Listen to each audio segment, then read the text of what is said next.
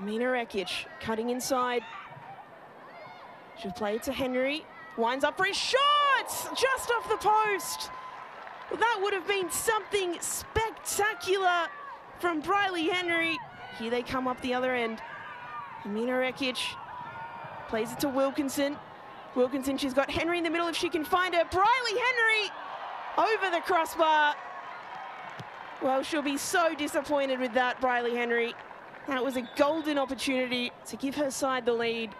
Of course, Letitia McKenna, sister of Tian, who may or may not be watching from Uzbekistan.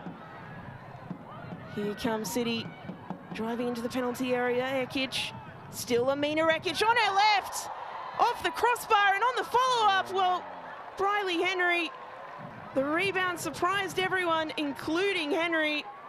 Well, she had the whole goal to aim at, and she shot it wide. Bryleeh Henry cutting inside. Squares it for Pollicina who shoots. Oh, Rhianna Pollicina, a whisker away. And indeed, Silkowitz was forced to get a touch on it. Woods into the path of Yallop. Tameka Yallop puts the head down. Tameka Yallop to open the scoring for Brisbane. What a performance from the Matilda. The home fans erupt. And it's Brisbane Roar who take the lead. Woods. Tish Woods still going. And she releases Sean Fryer, who's in space. Sean Fryer to double Brisbane's lead. Sean Fryer gets her goal.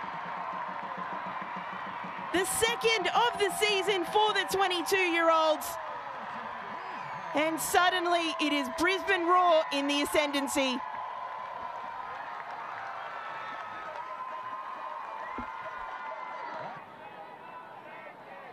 Shots on target, five for Brisbane, three for City. And those last two for Brisbane, they've been clinical.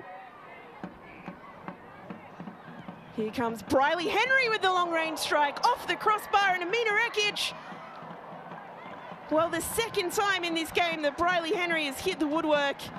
Oh, this from Henry. She's just gone herself.